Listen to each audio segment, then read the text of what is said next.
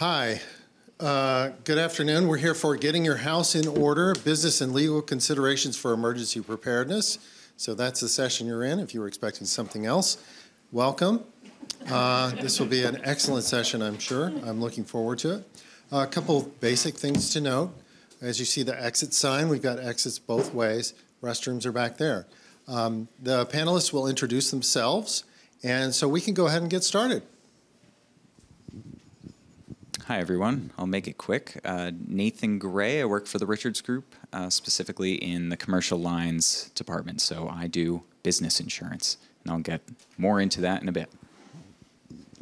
Good afternoon. Deborah Boudrio. I'm the advisor for Vermont Small Business Development Special Development Centers. Sorry, I just walked in the door. If you saw, I, I was saying that I was born and brought up here and still forget every summer that they're going to put all the construction projects in one you know group as I'm trying to get a two and a half hour drive in actually two and a half hours. So I excuse my lateness. I'm going to speak first, just so you know what's going to happen, and then we're going to um, move out to the panel. So please, we're a small enough group. I feel like we can interrupt at any time. We can we can change up if we need to. So let's get your questions answered. That's the most important thing. So. I agree with Deborah. My name is uh, Brian Bailey. I'm here with the Vermont Law and Graduate School. I'm also a solo practitioner uh, he here in town in Berlin, um, but today I'm here on behalf of the law school. Um, and so we're going to, I'm a lawyer, we're going to be answering legal questions as needed. And we also have with us. Hello, I'm Devin Brennan. I'm a student clinician in the Small Business Law Clinic at Vermont Law and Graduate School. I'm thankful to be here and hopefully I can answer any of your questions. Okay, hand it over to you. Can we just get a sense of who's in the room? And I can't sit down, so I seriously apologize in advance. It just doesn't work for me. Can you just tell who's here? Who are we talking to? Deborah, do you want me to hand these out? Um, no, not for a okay. second, but thank you. I will ask you though when I do need yes. to. Uh, so I'm Kate. I work at a place called Common Ground Center in Starksboro. We are a nonprofit family camp retreat center. Um, I manage all the events and the site facilities there. Perfect. That's the right amount of time. Quick. Yes. I'm Meg Campbell. I work with the Preservation Trust of Vermont. We're a statewide nonprofit okay. preservation community development. Thanks. Executive Director of the Kellogg Library, uh, Public Library and Cultural Hub in Montpelier. We had about $2 million of damage in last uh, July's floods. Hi, I'm Rebecca Marslett Kelly. I'm the General Manager of Weston Theater Company. We flooded in 2023 as well. I want to ask how many of you also flooded in Irene, which is where I got my waders, my, my head boots. Yeah, thanks. Uh, hi, I'm Jessie Keel. I'm a preservation specialist with the Northeast Document Conservation Center. Elizabeth Malone from Vermont Humanities. I'm the Director of Finance and Admin, and I administer the flood recovery grants um, for a couple folks that are in this room. Um, and uh, also I take care of our facility that relies a lot on the sump pump. Um, I'm LOI Stanforth. I currently work for Vermont After School. We just had a $40,000 grant for uh, youth third spaces in Barre. We helped create the teen space up there. And I'm currently creating a Boldwood Socially Engaged School for the Arts here in Barre. Thanks. I'm Fred Pond. I'm a college librarian, and I chase after old film and moving image footage in Vermont. Okay. Um, I'm Patricia Reed. I work for the Lake Champlain Maritime Museum, which is both a museum and a youth education center. Um, we were fortunate not to be affected by the 2023 or 2024 flood events, but we are um, working on all of our policies and procedures. So here to learn. Okay. Uh, I'm Zach. I'm the operations manager at the Vermont Studio Center. You guys got slanted? Yeah. Yeah. My name is Cav Papa One. I'm from the Temple of Hip Hop. Although I live in Vermont, I primarily work in the Bronx, New York, and Newark, New Jersey. We're a cultural non-for-profit organization. We also hold the legal documentation for hip hop as a culture verified by UNESCO. Cool. Wow. Well, welcome everybody. Who are you, Tom? I'm Tom. McMurdo. I'm Assistant State Librarian for Information and Access and also a member of the VACDaRN Steer Steering Committee. Great, thanks for inviting us. Do we need this? Yes. Yes. Okay, then I will keep doing it.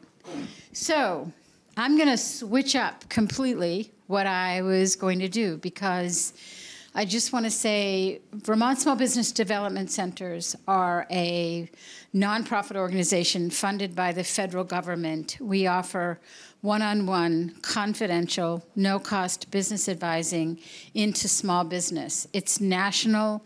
If you have relatives in other states, it's a great program. We're everywhere. But we are not allowed under this administration to work with nonprofits. Now, Amy knew that when she asked me to come here. We thought there might be some businesses in the room. I have a I worked for a while in nonprofit myself. So I'm still going to tell you all of the same things, but I'm going to put some caveats on it. So right now, Amy saw me speak about six weeks ago. Amy and I have worked together for the 14 years I've been in this job in various ways. And she saw me speak at a FEMA conference on this very subject and asked if I would come here and do it. So what we're working on right now is trying to get businesses and in, in your case nonprofits to look at how you become resilient in the face of this now happening to us again and again and again and i don't know you could tell me how much the publicity about how hard vermont has been hit affects your day-to-day jobs but for my small businesses when it makes the Washington Post that Lamoille County is the hardest hit county in the United States by natural disaster this year. It does not help. So we had Irene, and then we had the flood of the previous summer, and then this summer's floods. And we're now changing the narrative about what's happening in Vermont and how often we're having to deal with it. If you throw a worldwide pandemic in the middle of that, the reason we're doing the project we're doing right now is that we felt like what we were hearing from our small businesses, and again, if this isn't relevant, please raise your hand and I'll keep moving because I could talk for days. What we found was that there was just a sort of overriding feeling of loss of agency like everything they did to mitigate, not physically, but financially and staff wise and their business operations, everything they did to mitigate, and they just get started to get on momentum, something else would hit them. So, what we were seeing was, uh, we are continuing to see, frankly, is a real sense of ennui a sense of I don't know what to do in any situation because everything I do seems like there's some act of God or whoever you want to blame it on, but it's not me. It's not me who was trying to do the right thing or me trying to do something. Add to that the financial implications with the level of debt, which I'm sure you guys are seeing in reduced donations, I would guess. Um, just because when people are focused elsewhere, it's hard to ask them for money. I remember that part. So we said, how do we get people to really look at what they need to do so that they can stay resilient? We were calling this, it will be done by the end of the year, with all the fates willing. We started calling it the Business Resiliency Guide. And then we went, that's a kind of terrible name. So we're still working. the title's a work in progress. How does resiliency sound to you? What do you when you when you hear the word resiliency, what happens to your, you know, to your stomach, to your temperature, to your mental state? Does it make you go crazy or does it make you feel like there's hope? Hopeful. Okay, good. I'm going to say the opposite. Okay, good. Uh, I think when you've been through so many consecutive things, like complex PTSD almost, resiliency is not the thing that you want to be called anymore. Yeah. You know what I mean? Yeah. It's like, that's great, but where's, like, what does that translate to? You know? And I'll tell you, one of the reasons we're probably not going to use the word resiliency, at least in the title, is that all of our, our um, non English speaking clients are telling us that there's no single word in any language but our own that equals that. So, any other language, it's going to take a phrase or, in some cases, a couple of sentences to translate that, and that seems prohibitive and not the place that we certainly want to be in. But what we think about when we're thinking about resiliency, we're thinking about that ability to how do you, in the face of what keeps coming at us, how do you stay nimble? How do you take the pauses that you need? I'm about to retire, I'll be honest with you. I'm retiring at the end of December. Been doing this for 14 years. I'm now going to enter the third chapter of my life. I'm kind of I'm getting more and more excited all the time. Not that I don't love you and not that I don't love doing this because I do, but it feels like the right thing. If I, when I get asked what is the best piece of advice I've given in the 14 years I've been doing this job with hundreds and hundreds of small business, it's and when did I feel most effective? It's when I've gotten people to pause when I've gotten people to stop. And this is from the day after Irene to today. It's the word that I learned with my counties were the hardest hit in Irene. It's the word that I've learned to try to use the most, to try to say, let's stop, let's pause, let's take a breath, let's figure out where we are, and then let's go forward. Because what's happened in our small business community, and again, hopefully, hopefully not for you, but maybe for you, is the immediate response, of course, to any anything like a flood or a pandemic is to, is to get back to that wonderful word we use all the time, normal. And you'll do anything to get back there. And the reality is that's never going to be the same. And so how do we how do we take account for everything that's going on? And then how do we prepare for the next time? When I was on a panel in New Orleans after Irene, and I had written this, which you may certainly have a copy of. This is the, this is the disaster recovery guide. This is what happens the day after the disaster hits. I've got more in my car. They had done a study in New Orleans, the SBDC, with the University of Louisiana and one of the major insurance companies. And these guys are going Nate's going to start shaking his head right now. He's heard me say this before because we've been on panels together, but they did 119 small businesses that had been hit by Gustav, the BP oil spill, and Katrina to see if they had the proper insurances in place for the next disaster. And guess how many of the 119 did? No, a little better than that, not a lot. Three. Three. And the response was, of course, it'll never happen to me again. Well, as the, as the New Orleans SBDC says, New Orleans just needs a really good bath every couple of years. And if you've ever gone in, if you've ever flown into New Orleans, you go, whoever built this city did not have the, you know, the, the height of a, the viewpoint of a plane because it's 11, it's 11 feet above sea level, the entire city. Hi, Amy. So it's, you know, it's going to get a bath whether it wants one or not. So we said, how do we get people over that hump? Because if we start talking about disaster preparedness, it's like asking all of you, would you like to sit here? We'll talk about disaster preparedness for 15 minutes. Then we're going to give you all a shot of Novocaine. We're going to do root canals for every single one of you. Free, free, but we're going to do root canals. That, and it clears out if we can get people in the room in the beginning.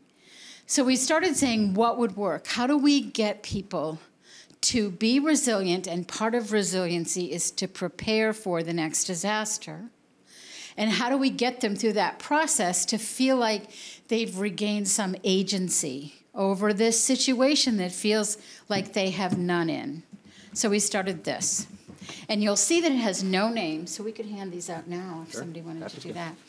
You'll see it has no name because I've taken the name off it. Because again, I agree. I think there's, I don't like the word.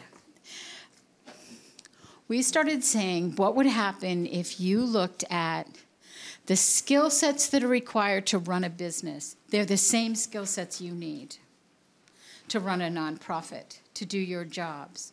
What would, what would it look like if we took those, those skill sets, and there are scarily 33 of them we've identified. It's the skill sets I talk to my small businesses about all the time. What if we said, understanding where you were in relationship to those skill sets is the first and best step to keep yourself nimble and in as much control as you possibly can be in. So that's this diagram. And what does that do? I'm going to show you what the skill sets are. What does that do? There are three groups operations, financial, and marketing. Sometimes we call it leadership. I may have made a mistake again because this is a work in progress of whether I call it operations or leadership. But it's the day to day running and also this, in addition to the day to day, the strategic long term future planning, financial, and marketing. What would happen if you knew where you and your organization stood in relationship to these skill sets? Well, what happens is in the short term, when you shore these up, then you get a more profitable or better running nonprofit.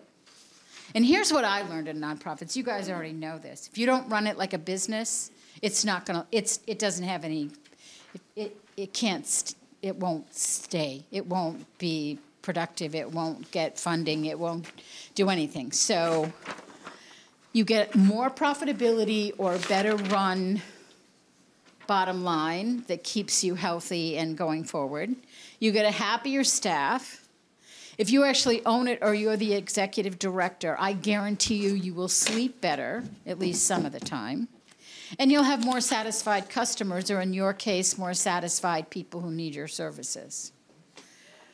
That's what happens in the short term.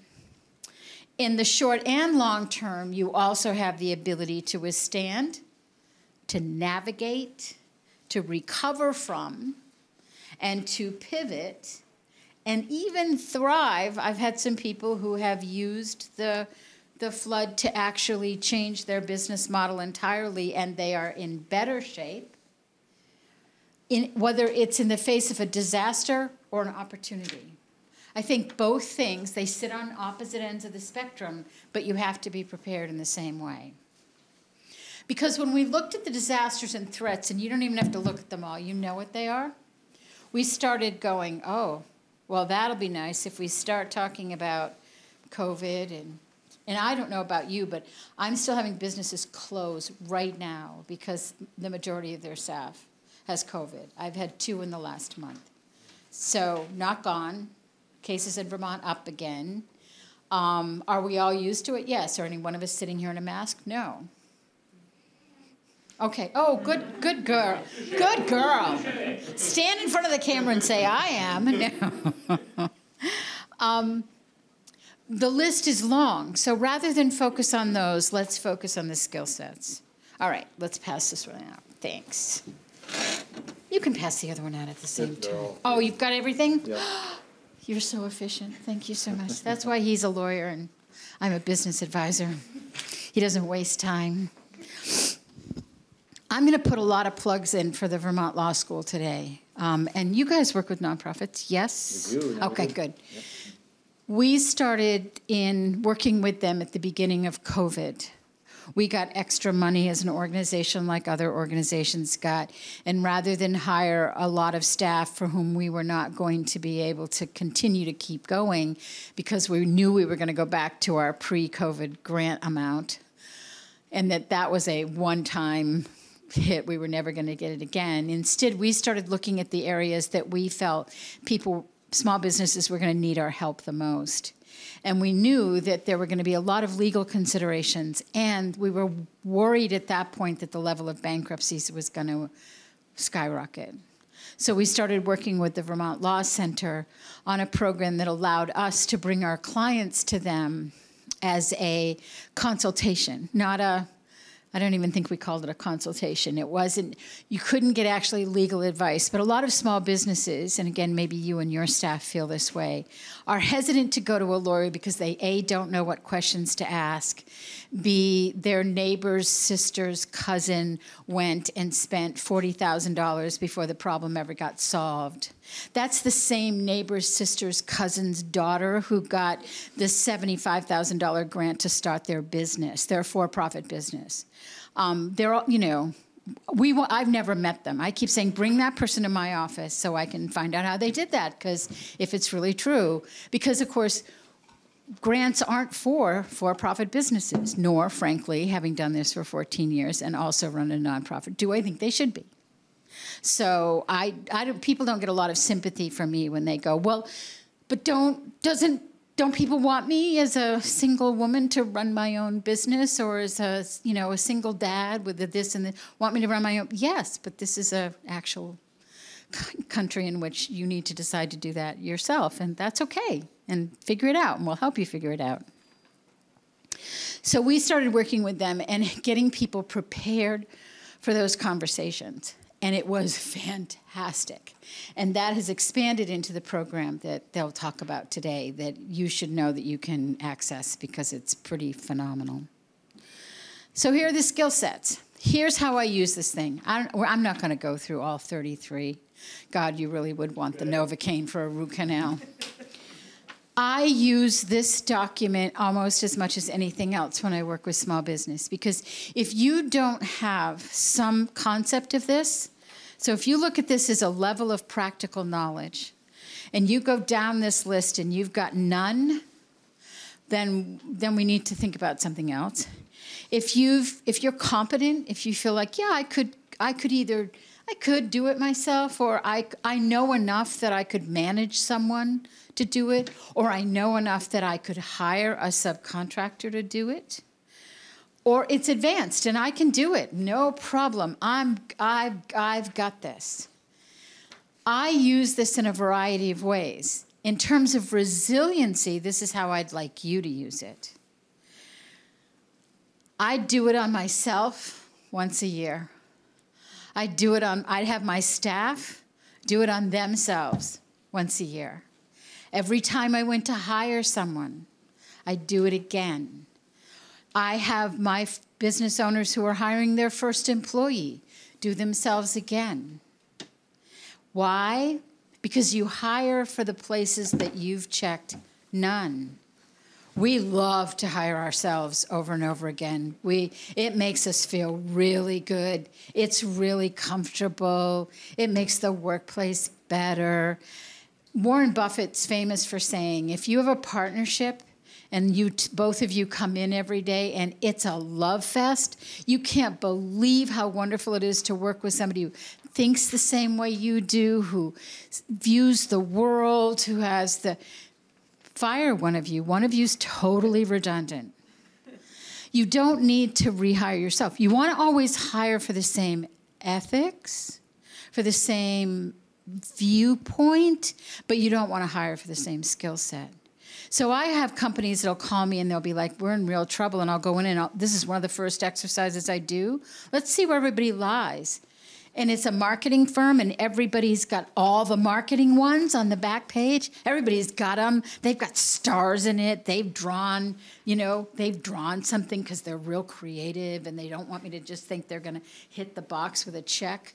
And i get over to financial and it's like bookkeeping none. Accounting none. State and federal taxes none. And then strategic planning none. Personality okay there's the problem We've got a whole group of creatives who's having a blast, but there's no structural or organizational part of this business going on.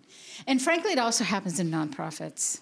I've seen this happen a lot, where you got to get somebody in there going, What the hell were you thinking? Or did you ever ask the people that you're serving. There was a period where we could work with nonprofits. And I had a couple who, I worked in Brattleboro. I work in Brattleboro still for one of my districts. You can throw a stone in Brattleboro, and I don't mean to be disrespectful, and you can hit a massage therapist, a yoga teacher, or a nonprofit. it's just, it's, I mean, I, you know, people would call and go, I'm starting a new business. Oh, God. I'm going to be a yoga teacher, but I also do Reiki. Okay, good. good. So glad. No. So I understand this. But for you, you simply have to take all of the language that I use about customers, if I use that, and turn it into, you know, the people that you serve. Who do you serve? What do they need? I had one woman who decided to run. She had a really good idea, actually. It was an interesting idea. And I hope I'm not speaking out of turn. I don't think she's in the room. So if she is, she doesn't like me anyway. So she probably already would have left because I don't mince words if you're sitting in my office because we're a free service and you know I've got people waiting. So because one one way to get a lot of clients is just to offer everything free. People will come, um, at least the first time. Um, was going to go to farmers markets and offer all of the people there who had produce and and product for sale that was food oriented was going to offer them a reduced rate and it's true. Most of those farmers markets are going to, most of those farmers are going to take it home and put it in the pig pen. That's what they're going to do with it. They can't resell it. They don't have farm stands of their own usually, and it's now been on the truck out in the sun. It's whatever. So they they do. They they feed it to their livestock.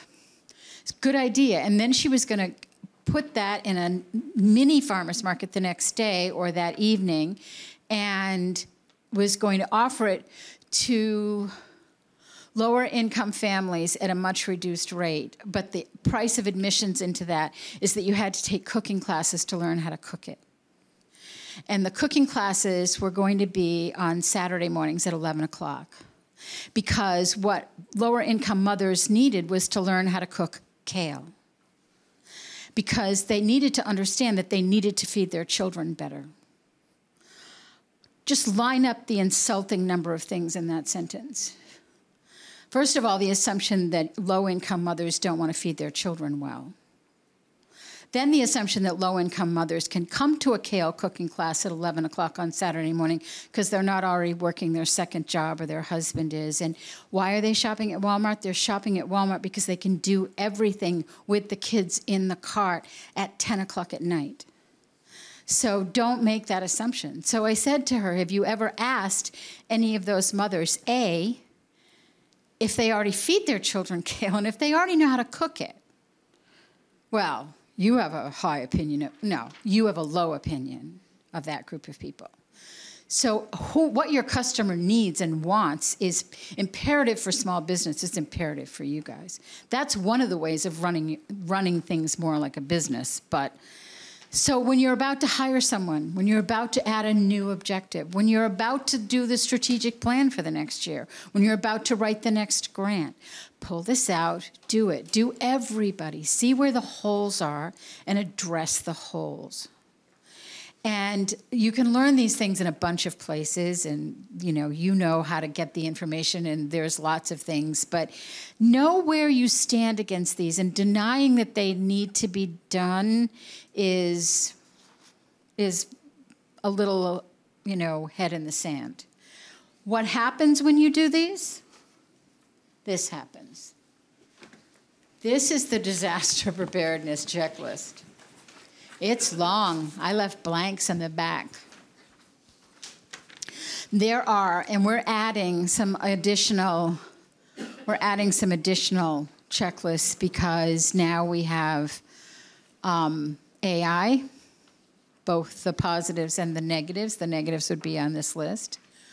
Um, the real effects of social media, negative, positive, the negatives need to be on this list and addressed. But if you actually do this, then you have actually checked off by doing this, you have actually shored up all of those skill sets. If you look down this list, which is not what's usually in these last columns, what's usually in these last columns is who's going to do it by when and is it done, is how I usually use this checklist. When people started calling me at the beginning of COVID and complaining about the federal government's response to this, to COVID, and the state's response to COVID, I said, So you were ready? You had your disaster preparedness checklist complete. You had everything checked off. Well, Deborah, no. How could I possibly have done that? Then how could the state and federal government have possibly done that? Nobody funds disaster preparedness. You think Congress, you think people get elected to public office by going in and saying, they do like the first, you know, five days after a flood, but they don't six months after a flood get elected by saying, let's spend all our money on infrastructure. Because it's not sexy. There's nothing sexy about this.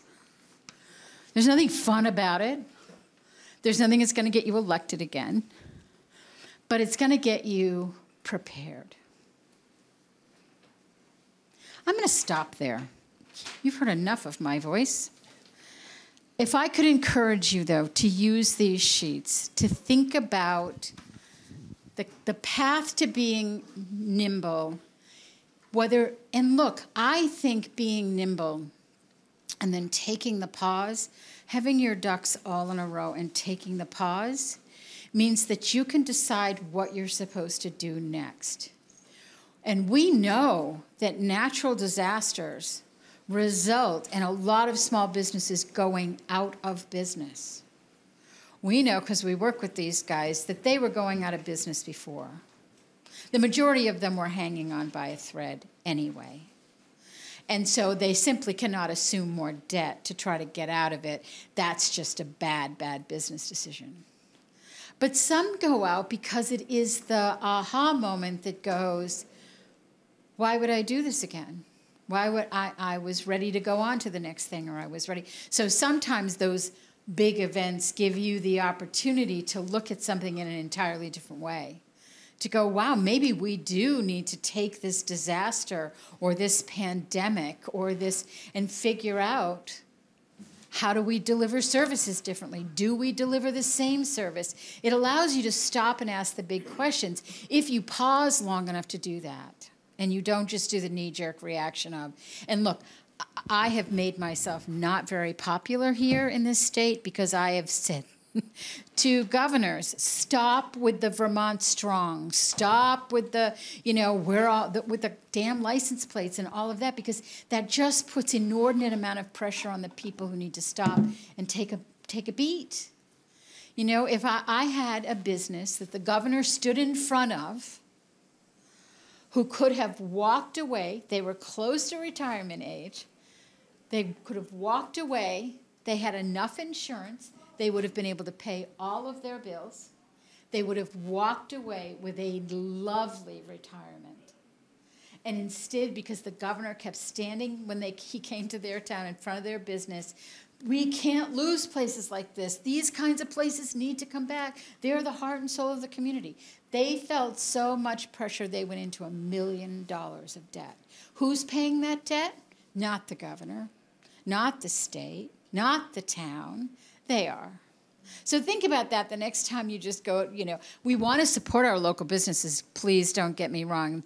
Know that I'm not saying that. But if you don't take the pause, you don't know what the next right decision is. So just, if, if you get anything from this, figure out where you are. Use this skill set as a real management opportunity for your own nonprofits. Look at who your staff is, who you are, what do you need to know. We use it at, at our organization as our professional development plan. Because I've been doing this, I'm 72 years old in a couple of months, which is why I'm retiring, because I think it's time. Um, and and also, I don't understand AI, and I need to understand AI, and I need to understand how AI is going to do you. And I'm like, do I really want to learn this? I'm not sure I do. I got a lot of other things I want to do. So I'm going to stick my head in the sand and let my let some younger people figure that out for you guys. I lost my train of thought because I'm 72 years old. No, that's not true. I lost my train of thought because I rushed here. What was I saying? Somebody take a beat. Me, I should take a beat. yeah, you are. And I am, I promise. Use this, so I'll go back to where I was hopefully going. Use this to assess yourself. We do it for our own professional development. That's what I was saying. I would go like way past the none column on AI. I've had two or three days of training now, and I still have no idea what they're talking about. I sort of do, but I don't really know what it means in terms of what it means for you guys day to day, and that's what we need to figure out right now. I know it enough to understand that we're going to have to have businesses understand this so that they are competitive. You guys are going to have to understand it so that you remain competitive. When you use it, when you don't use it, when it's when it's you know when it's ethical, when it's not ethical. I mean, so many of those questions have not been answered. Do I want to see somebody attempt to write the next Pride and Prejudice? God no. But do I want you to use it to write 30 days of social media posts, which are going to last in the universe for 30 seconds when they go up? Yes, I do. Because it's going to save you so much time. And, and time that you can use to be with the people who need you rather than doing whatever you need to do to keep your profile up for when you fundraise. Let's, let's face it, that's what that's about. You know, so I get it. We need to do certain things, but there are certain things for which social media that are transient and and you create a bot that does what you need it to do and you make sure you look at everything because you know the one thing social i mean um, you probably know more about ai than i do but it hallucinates if you ask ai to give you to write a blog for you and to give you four sources and you get four you know websites back you better check those four websites because if it didn't find them it got, it's going to make them up for you because that's what it wants to do it wants to please you still. And we're okay as long as it still wants to please us. So you have to check those um, four websites to see if they actually exist and the first one that doesn't come up you got to ditch that blog and start again because they made up everything else in there probably too. So you can't use that, you know, ethically. To, so you just have to be really careful. I'm going off on a tangent. I'm going to stop. These guys are going to talk about look, insurance is outrageously expensive. He's not going to, it's not going to, and it's getting more and more expensive. Flood insurance is almost as complicated, I think, as trying to figure out what you need to do when you actually do apply for Medicare, which I will tell you is also a full time job. These guys are going to talk about the legal aspects. We're going to open it up to questions after they're through. So start writing down what your questions are, and, and let's use the time, the rest of the time for that. Thank you very much for letting me talk. I appreciate your attention. Next. Hi, everyone. Uh, again, Nathan Gray. I work at the Richards Group. I am uh, part of the commercial lines team, so I specialize in business insurance, uh, for profit, nonprofit, uh, just like everyone in Vermont and New Hampshire. I am a generalist. Uh, small, medium, large contractors, uh, local theaters, schools, all of it. Um, and yeah, I guess we are in the business of worst case scenarios uh, yeah, keeps me up at night. Hope it does you too. Uh, so, uh, I I guess uh, I, bringing the insurance lens, I guess I will pick up on on what Deborah said last. Yes, uh, it is getting more and more uh, expensive. So plenty of it has leveled out. Uh, I don't know if, if any of you carry cyber insurance. Uh, a few years ago, right, we were seeing 30% increases, 300% increases year over year. Um, that, that's flattened out. Same with uh, directors and officers, that's pretty much flattened out. But the big ones, uh, property insurance, is through the roof, uh, and and we don't see an end in sight. It, it, looks like we've crested the top of the mountain, We're on the other side. How long it takes to get down the other side is another question. Um, And will depend on how many more disasters happen. Yep, uh, yeah. In my inbox yesterday, I saw you know the headline. You know, new wildfires in California raise questions about the price uh, and availability of insurance. Yes, indeed. Um, so yeah, uh, w- we'll see how long the back the back end of this mountain is. Uh, flood insurance too, very expensive. Uh, and you know, a couple of years ago, so, so most, mostly, flood insurance is placed through uh, NFIP, the National Flood Insurance Program, through FEMA. Um, if you've ever experienced a loss and you need flood insurance, that is where you're going. Um, there are private markets. Sometimes they are uh, less expensive. Sometimes they even have a little better coverage, but they're only for, again, businesses, nonprofits who have never experienced uh, a flood-related loss before. I've heard whispers that there are private markets that will take you if you've had a loss. I haven't seen them yet, guys. So uh, yeah, I'll leave it at that. Whispers. Um, but a couple years ago, FEMA, uh, the NFIP, changed their rating system. Before that, flood insurance prices were going up 25% year over year for nine out of 10 of my clients. Uh, 25% with no end in sight, and that's fine if you have a $250 policy, right? 10 years out, you're still okay. You're do, you'll be okay. But if you have a $30,000 policy and that's hit 25% year over year over year, um, yeah, that, that can put folks out of business. Um, so I, I think next, I'm going to go back to Deborah's first sheet here. Uh, I, I made a list of a few kind of key disaster-related uh, coverages that I wanted to address, and almost every one of them lines right up with Deborah's list. Um, so, so that makes sense. Uh, right at the top, uh, COVID and new pandemics. I've got some news. There's nothing we can do.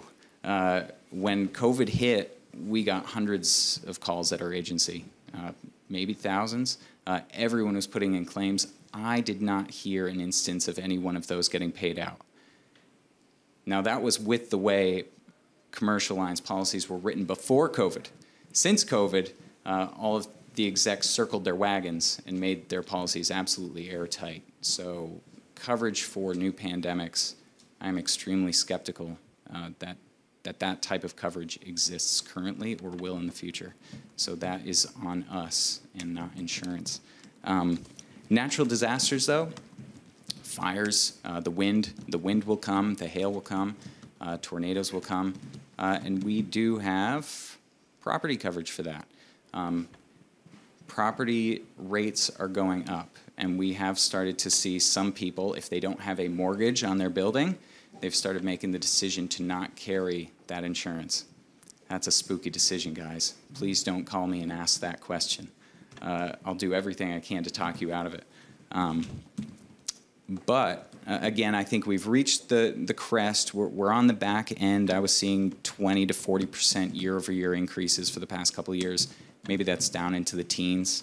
Uh, I'm not surprised if I see 10 to 12% uh, increases in property related premiums.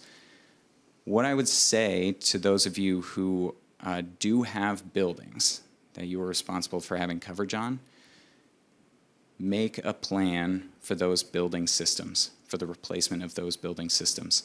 So, electricity, plumbing, HVAC, all important, and they help with your insurability. If you're able to say to an insurance company, we just replaced the electrical panel last year, that will look better than we don't know when the last time the electrical panel was replaced, right? Most important on that list is the roof. Write it down. Anyone who has who is responsible for a building. Um, we have had multiple instances where insurance companies, and we'll see certain states are starting to step in and saying this is not legal, but not in Vermont, uh, not yet. Uh, there's aerial technology, and so say Liberty Liberty Mutual, right? They've got some sort of platform like Google Earth, and they take their snapshots of the roofs of their clients, and if they don't like what they see, they will non-renew.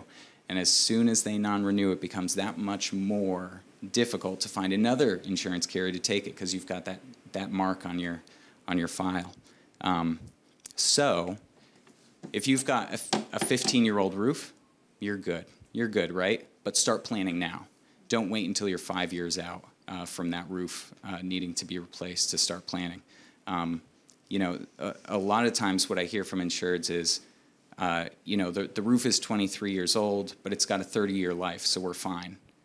You might be fine for the next seven years. You might be. Uh, in the eyes of the insurance company, maybe not. Maybe not. Um, so anyway, that, that, that's my two cents on roofs. Please replace them. Make them new if you can, and they're super expensive, right? Which is why I'm saying if you've got 15 years to plan, like start planning it now. Um, okay, uh, climate change. Uh, uh well, back to flood. Uh, again, if if you're with the National Flood Insurance Program, NFIP, the max building limit you can get is $500,000. Again, I see people uh, who take out that $500,000 limit 10 years ago, but they've paid down that mortgage, right? So now they only have $150,000 mortgage. The mortgage is the only reason they have the coverage, and so they drop the limit to 150. And then that flood hits.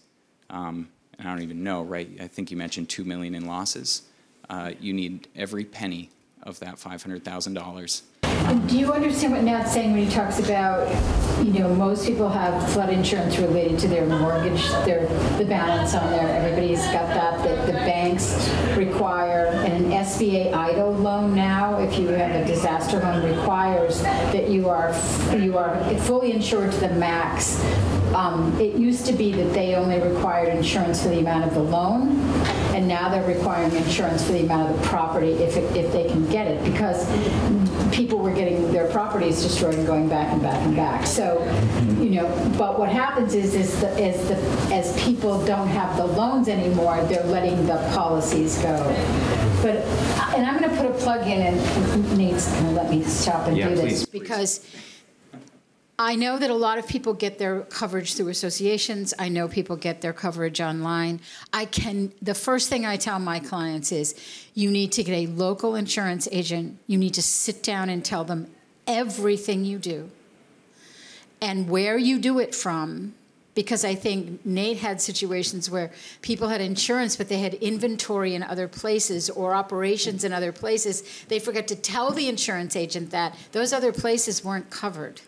So you need to tell people what you do, and you need to listen to the response of that insurance agent. And then when they send that lovely, friendly letter that says it's time to sit down and, re- and look at your policy and make sure your coverages are in line, take that meeting. Thanks for the plug. You're welcome. Yes, please tell us. uh, okay, uh, moving down employee issues and political climate. Uh, that lines right up with uh, employment practices liability. Uh, if anyone has employees, I would strongly encourage you to get employment practices liability coverage. So this this is coverage that will uh, protect your business in, in the wake of uh, allegations of negligent hiring, firing, uh, racial discrimination, sexual discrimination, and and the higher the, the political climate gets across the country, um, Ver, Vermont is not isolated from that. Uh, and, and we certainly see uh, these employment practices liability claims come in. They're nasty, right? Racial discrimination, sex, sexual discrimination, like awful.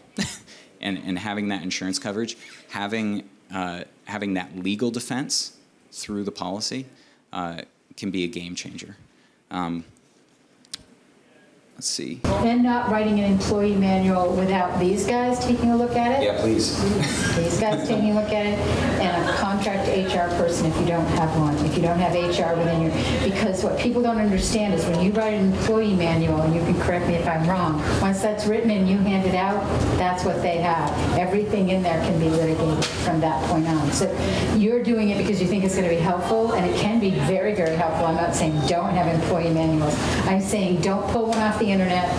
Don't get somebody's cousin to write it unless they're an HR specialist and they know and they have a lawyer in the family that can also review it because that's a very important document. It's also one of those documents that needs to be revisited a lot. Mm-hmm. So yeah, employee manuals are, are one of those areas where there are a lot of traps for the mm-hmm. unwary. Mm-hmm. It, it's a good thing for businesses to be thinking about doing an employee manual. It's not uh, something that should be undertaken lightly. It's you're creating legal document, right? You're making promises to your employees, uh, and you're setting ground rules that all have legal implications. So that's one of those things that um, I wouldn't recommend recommend trying to DIY. Yeah. Uh, get an employment lawyer. They're going to be able to. It's it's. It doesn't have to be complicated, but you, you need to know how to avoid the traps. And tangential to that is uh, a, a coverage that's a bit sensitive but super important. I heard several of you say that you work with youth uh, abuse coverage, abuse and molestation coverage. Um, and this this is one right. I, I met with the executive director of a local theater a few weeks ago, and I brought this up because their policy currently excludes it. And, and I was trying to get at, do you have the exposure? Are you working with children? And his eyes kind of got big, and he's like, wow, you are in the business of worst case scenario. Yes, because we do see those claims, uh, and, and they wait, right? Sometimes they hold on for decades. And I believe in Vermont there is no statute on, of limitations, right? Uh, I believe that's a. I don't know offhand. Yeah, I, I believe that's relatively new in the past few years. They've lifted that cap. Uh, and so we've seen an influx of claims from the 70s, the 80s, the 90s. Uh, in any case, having this coverage would protect your entity, your nonprofit entity, in the event that, say, one of your employees was alone with a child and later an allegation was brought. Whether founded or unfounded, the policy would at least provide that legal defense upfront to help. Um, Yeah, and, and a couple others. Oh, I, yeah, I guess this really lines right up, Deborah. Uh, right down the list, of random acts of violence. Uh, certainly, I'm thinking about you know theaters, whether, whether we're talking about live live performance or uh, or film, uh, any place where where people are gathered en masse. Uh, different carriers name this coverage different things, but violent event response um, is an important one. So, so if there was a violent event at your business or at one of your events, uh, th- this would step in to, to try to make, make the entity whole, try to get you back on your feet. Um, so things like PR, right? If you have a theater and there's a violent event at that theater, it might be hard to, to have people get back in there to make them trust your space again, right? So the policy might step in there. If there's injury or death, the policy might step in to, to provide financial benefits there. Um, if there is trauma sustained, right, and people need uh, need counseling after the fact, the policy might be able to respond in that way. So that's violent event response. Both your employees and the people who are at the venue. Sometimes also just considering these makes you do the plan. What is the plan? I mean, you I'm sure you all do have plans, but again, has it been updated? Have we, have we looked at it often enough so that we feel really comfortable if tomorrow this happened? Um, I, one of my fellow advisors in Maine had the bowling alley as a client where the shooting took place in Maine now a couple of years ago. Um, they were not prepared at all. They, you know, they didn't wake up every morning and go, what do we do if some person comes in with a rifle and starts to shoot? But unfortunately, that's the tenor of the times at the moment. And so how do you prepare and how do you prepare your staff? And then, and Nate's right, how, how, what's the follow-up? What's the conversation you have? And you'll notice on the disaster preparedness checklist, one of the things is who's going to be the spokesperson? Because it's really important for a small business, for a nonprofit to have one single spokesperson, not 50, not, not everyone out there talking. And it's not necessarily the executive director or the president or the owner of the company, because sometimes that's too much of a charge. So who should be the person who's out there having conversations with not your employees, which is internal, but any external conversation, vendors, customers, donors, who's having that conversation and what is the message of that and, and sticking to that. We're going to go back and and study the Princess Kate thing. I swear to God, we are, because when, when they said she was gonna, she was going in for surgery, and they would be updates when there was, you know, information, and then they put out that ridiculous picture that had been photoshopped. Mm. Oh my God, and, you know, and she took the blame for that, classy lady, and then she came out and did that video saying I have cancer, and now she's done this next video. It's gonna be studied by PR people for the rest of time in college classes and those, because there's things about it that they did beautifully, and there are things about it they really messed up, because they didn't stick to the story. And that was the problem in the beginning. So that was one of the major problems. So anyway. Okay. One more, and then I'll pass the mic. Uh, crime, crime coverage, uh, and and there, there's a whole list uh, of different types of sub coverages underneath that that larger umbrella term. But employee theft specifically, um, we we all see the headlines, right? Uh, I mean, it seems like every few months there's a headline saying like. Uh, bookkeeper for Keene-based company, you know, uh, charged with stealing four hundred thousand dollars from her employer. It happens. We see the claims; they're bad. Um, so I, I would strongly recommend having uh, employee theft or employee dishonesty coverage uh, on your on your business owners or commercial package policy. Uh, and again, back to like disaster preparedness. Uh, if if you have if that bookkeeper swoops in and takes that money, right, and all of a sudden your operations have to cease for an undetermined period of time before the policy can respond, before the legal system can respond, um, yeah, uh, it can get scary. So I, I, think I'll leave it at that. I'm, ha- I'm happy to answer any questions as we go, but I'm going to pass the mic. All right. You're up. Sounds good. Um, I want to make sure we leave enough time for questions, but I'll give you a quick outline of what we can talk about in terms of the legal side. At a high level, when we're thinking about legal and we're thinking about disaster preparedness, resiliency, whatever you want to call it, um, a big part of this is just getting your house in order, doing the things that you really should be doing anyway as a business owner, right? So, a big piece of that, just gathering your documents, knowing where your agreements are, your lease, your contracts, um, if you have an employee manual, having that, having all these things in one place. So for starters, where is the stuff? Do you have copies of it? If you have a, one single file cabinet someplace that has all of these materials in it, and that file cabinet is sitting in a flood zone, mm-hmm. and it ends up going downriver, what then? Do you have copies? Do you have pictures? Do you have, is it backed up in the cloud? Something, right? Cloud, cloud, cloud, cloud. I had so many I had so many clients in Irene whose um, external hard drive was sitting where? Next to their computer. I fondly say their computer is in the Bay of Fundy and their hard drive is in the Chesapeake Bay. And both are irretrievable. And they weren't backed up anywhere else. The single most important reason why EIDL loans, one of the most important reasons like that the SBA doesn't give out EIDL loans because it sounds like they give them to everybody and they don't. It's a very small percentage, but it's because the documentation is not intact. So you need your documentation. And video, I've been told, is way better than pictures. So, yes? For For insurance claims for legal purposes. Oh, sure, yeah. So video, if you can do it. Yeah. If a picture is worth a thousand words, a minute of video has got to Yeah. be worth millions. Yeah. Um, Right, so where are these materials? We can certainly get into some of the details about what to be looking for in contracts, what to be thinking about in terms of leases.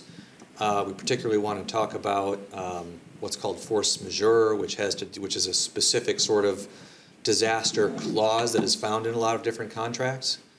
But before we get into, and then we can also talk, by the way, about like the BGAP um, program that's being offered by the state of Vermont, specifically for businesses that are impacted by the most recent floods. There's FEMA coverage, right? So there, there are disaster um, programs that are available to help redress um, you know, businesses or individuals that don't, that didn't have the insurance coverage they need or have some sort of uncompensated loss. So we can talk about that. Um, but I'm inclined to focus on contracts, leases, and the, the, and like, the question I have for this group is, how many of these, how many in the room have a lease in connection with their business or even personally? Okay, so we've got a few leases. What about other agreements? Does anyone not have some kind of written agreement that's in connection with their business? Or for that matter, could be a verbal agreement, right? Um, those are a thing too. Ongoing promises that have been made either from or to the business to others um, that are, you know, that usually involve an exchange of money or goods or something like that. Does anyone not have a contract that's live in the business? For facilities or in general? In general. Oh. Yeah. Any kind of ongoing performance, right? Where somebody's relying on you. Probably that's a written contract, but it could it could just be a verbal contract. Right? So I think everybody has something in that space. So let's start with contracts and just a quick discussion about what they are, what they're for, and how they factor when we think about disaster resilience and, and this kind of thing.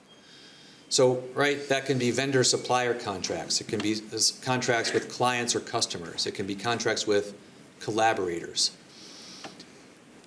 First of all, having a contract, having something in writing is super important. This is true generally. It's not just a disaster preparedness thing. Um, there are a lot of verbal contracts floating around in the world. There's nothing inherently wrong with doing business on a handshake, right? That can be done. It's done all the time.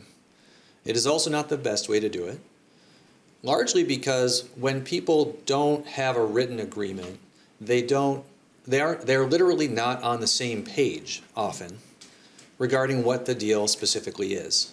And so one of the big benefits of putting it down in writing is to make sure that everybody has thought through what the relationship is going to be. What are the promises? When do I have to perform? How much am I paying? When do I have to pay you? Um, you know, these kinds of details can easily get lost when we're just looking at uh, verbal agreements. But when they go down on a page, everybody gets on the same page, to use that turn of phrase.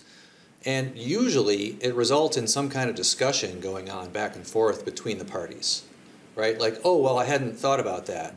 You know, um, that timeline doesn't work for me actually. You know, uh, I, I'm going to need more time for, for my performance of my piece of this contract. Oh, really? Oh, well, hmm, well, that, that changes something for me, right? And this back and forth happens, and by the time people put the ink at the bottom of the page, um, there's a better understanding than there would have been. So, you know, part one, have the contract in writing. When it comes to contracts that have ongoing performance obligations, right? So, um, you've got a supplier of widgets and you've got a buyer of widgets, right? And the buyer wants to buy 100 widgets per year at a certain price, and the supplier will supply 100 widgets per year at that price, right? That's the contract, that's the deal. That is where disaster preparedness really sort of comes alive because promises have now been made that over the course of the next year, we're going to perform, right? I'm going to make the widgets and send them to you. You're going to send me the money for the widgets. That is where disasters come into contracts because we're all we've made promises about the future, but we don't know the future, right? And as we've seen, sometimes in the future there's a flood or a fire or a pandemic. That is where what's called force majeure clauses come in. And they are common but not universal in contracts of this nature. Basically, what a force majeure clause does is it says if there is something unforeseen, often called acts of God, or, you know, very often it's spelled out flood, fire, um, civil unrest, right, war, things like this.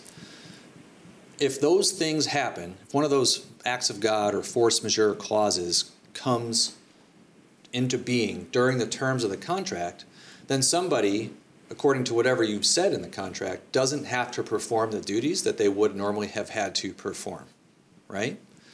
So it's clarifying the risk landscape and it's letting the parties know okay, if one of these force majeure acts of God things happens during the performance time of this contract, then what? Right? So maybe the maker of the widget says, look, if my widget factory gets blasted by a tornado, I'm not going to be able to provide these for you. I'm not going to be able to perform and, and deliver my promise that I'm making under this contract. But I won't be in breach of the contract, and you can't sue me under the contract because it was beyond my control. It was force majeure, right? And so people can and do sometimes argue about, well, did the particular thing that happened activate the force majeure clause or not? But if it's something like a flood or a tornado or something like that, that's force majeure, right? That's classic. Can you be really specific? This happened a lot in, in Barre after the flood with, with businesses and their leases.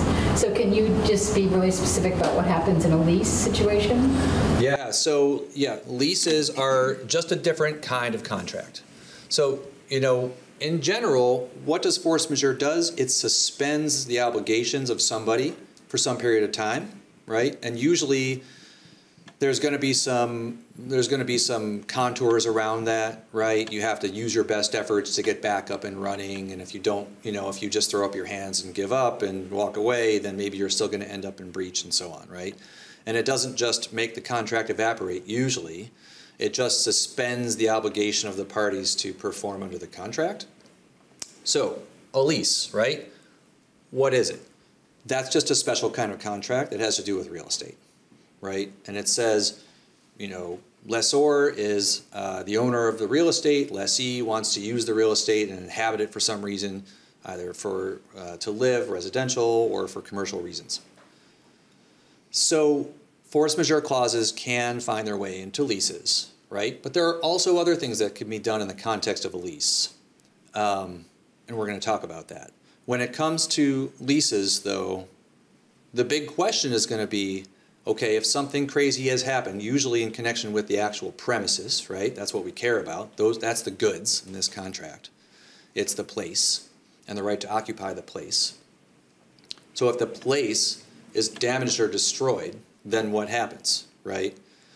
That can take the form of, of a force majeure clause, or it can take the form of just a separate piece of the, the agreement that says this place has to be fit for habitability, it has to be fit for purpose, right? And so that's that can that's that's not necessarily a force majeure clause, but it's the same kind of thing, right?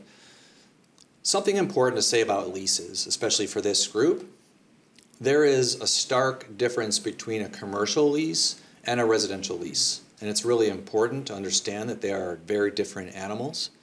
So usually when most of us think about a lease, we think about a residential lease, right? Because that's by far the most common kind of lease where it's you've got somebody renting an apartment, they're going to live in it, right? Residential leases have a whole framework of protections built up, mostly for the renters, um, by the state, right? So there's all kinds of protections for renters. There's a, there's a legal framework put in place by the state of Vermont, which helps mostly renters um, and you can build on top of that framework with your residential lease, but you cannot eliminate any of those protections by agreement with the landlord, right? They just exist. Commercial leases are not like that. Okay, commercial leases, the deal is what's on the page, with very few exceptions. Whatever the, the agreement says, that's the deal. And that's the whole deal, and there are no promises beyond that, right? So commercial leases are not subject to this you know, patchwork or framework of state laws which would protect either the landlord or the, the tenant. Um, commercial leases are just what's written on the page, pretty much. Okay, so even more than a residential lease, I, I think it would always it would be a good idea to have a lawyer look at your residential lease, especially if it's long term. But I realize most people don't do this, and okay. When it comes to a commercial lease, though, I think it's it's triple important to have a lawyer look at it because you don't have those protections from the state. We really, we recommend that every single time because so many things, and I think what people don't understand when you sign a lease, people think about, all you think about when you're doing your planning is that monthly rent payment. But the day you sign the lease, if you sign a three-year lease, you owe the, you owe now, you've promised, you're going to pay the amount of the three-year lease. And if you have a local landlord, that can sometimes be easily discussed, and they can let you out of the lease, and there are, you know, there are notifications and there are things. But I've had, I've had businesses that have landlords from out of state who are like, nope, you signed the lease, it was for three years, I don't care that you're a year and a half into it, I want this dollar amount. And by law, they have to pay it. So understanding that there are more implications than just whatever that monthly payment is, I think gets you to understand that you need to look at it with more care and more detail. Yep. yeah, I agree with that. Um, when we think about damage from unexpected events in particular, we talked about this idea of habitability or fitness for purpose. So this raises, you know, an example from the July 2023 floods. I had a commercial client um, whose property was damaged by the flood. And the property was not, um, not condemned, right? There were specific provisions in the lease for if the property is condemned. It wasn't condemned. And the client's part of the property was second floor, so it wasn't directly impacted by the floodwaters, only the first floor was and the basement. And the landlord came around and said, all fixed up, you're ready to go, you can go back in now. Please start paying your rent again, right? But the client was saying, yeah, maybe that's true, but there's dust. It's everywhere. It's thick. It covers the surfaces every day and night. Because this is how it was in Barre and in Montpelier. After the flood, there's river mud everywhere. That stuff dries up. Cars and trucks are driving all around doing their work and that all just gets put in the air, right? And so there was, I mean, this entire building was just loaded with dust. So it would have been nice in this context to have something in the lease about fitness for purpose, right? Like you, the landlord, are promising us, the tenants, that this place will be fit for purpose. We're using it in this way, we're running our offices out of it, we're doing this kind of business out of this space. And this is something that can be thought about in connection with a lease what do we need the property that we're leasing to do for us? And what would get in the way of that, particularly when we think about things like disasters, floods, wildfires, smoke, whatever, right? These kinds of things. And then ask the landlord, um, can we get some promises that this place will be kept in this in a, in a condition that enables us to keep running the business? right? And if there's something specific that you need, you can ask for it. Another thing to remember about commercial leases that sort of separates them from residential leases is that in general, negotiation is more okay and is kind of more normal, right? It's very typical that commercial leases are going to be negotiated. There are usually lawyers looking at them from both sides. And um, it's not very unusual for most commercial landlords to get some kind of pushback on some piece of the lease, or someone who says, well, I, I, need to add this, or no, that clause doesn't work for me, or I need to make this change. You know, with a lot of residential leases, especially with big apartment buildings or whatever, it's sort of take it or leave it. You know, that's the deal. Um, and a commercial landlord can say that too, right? They can always say, no, take it or leave it, that's the deal, I'm not changing it. But it's, it's pretty common, in, I think, in residential lease situations for landlords to just say take it or leave it. It's not super common in, in commercial leases. By the way, it's also, most leases have a period of time, right? Two years, three years, one year, sometimes it's long, 10 years or whatever. When the lease comes up, that's an opportunity to renegotiate. And so if you have looked at your lease and you're like, hmm, no force majeure clause in there, no protection whatsoever if this place just doesn't work for me anymore because there's been, you know, damage. Um, then when the lease comes up, that's an opportunity to go to the landlord and say, hey, as long as we're re-upping, um, can we add this force majeure clause or something else? So I'll pause there. We've got 15 minutes or so remaining. Questions? what's alive for the group here. I'll just make a comment about being thoughtful about insurance limits, property limits, and how much your coverage is. Uh, we all thought that our, we had a $400,000 flood policy that we all thought would be sufficient. Sure. um, and obviously it was not. And now we're thinking, well, we have an $8 million uh, policy on the whole building, but look at how expensive everything has gotten. Um, you know, construction costs, all the permitting requirements, et cetera, et cetera.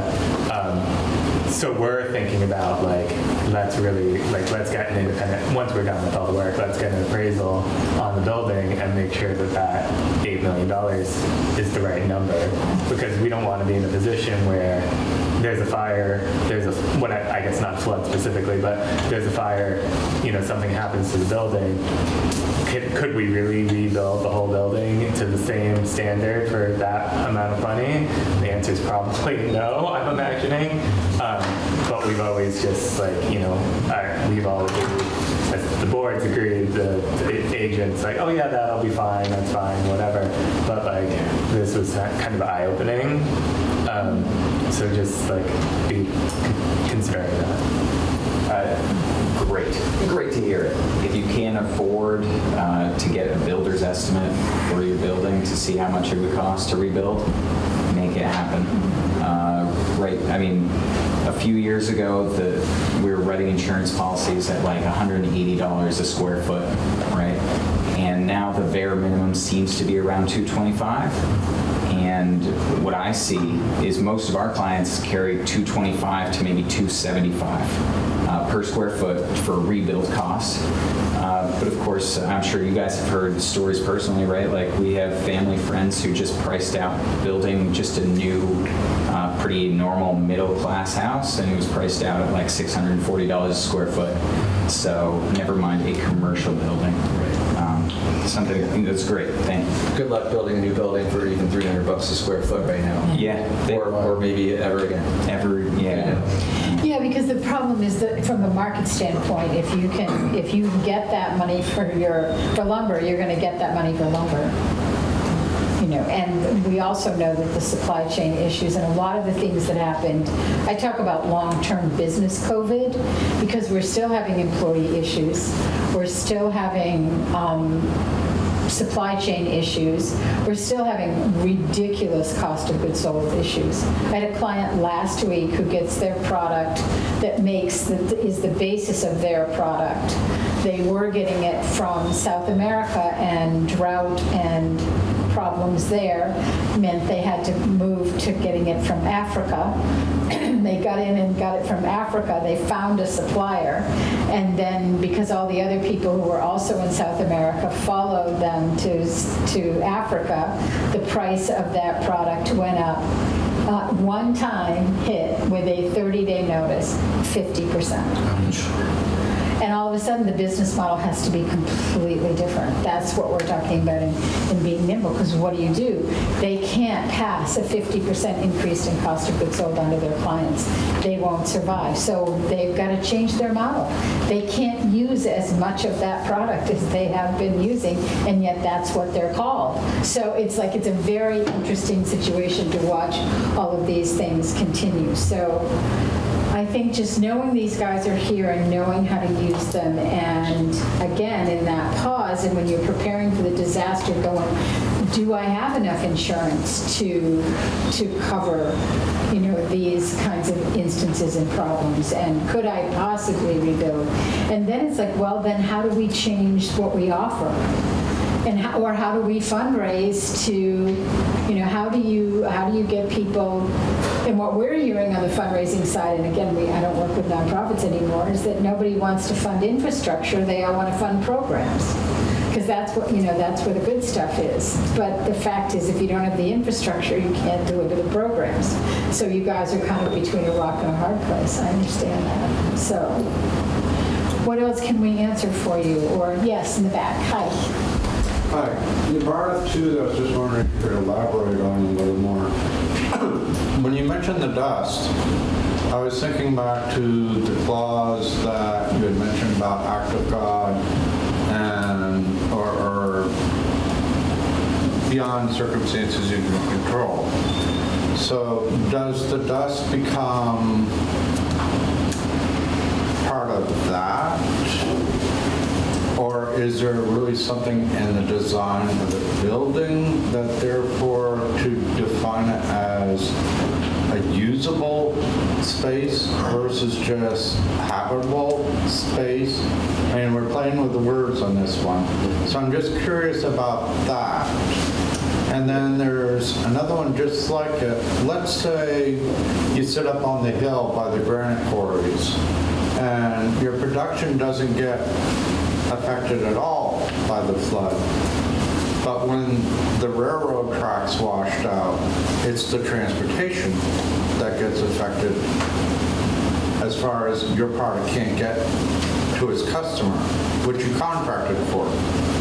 Um, and there's a reverse side of that, which is can you get the product in order to make what you are selling as a product because somebody else flooded?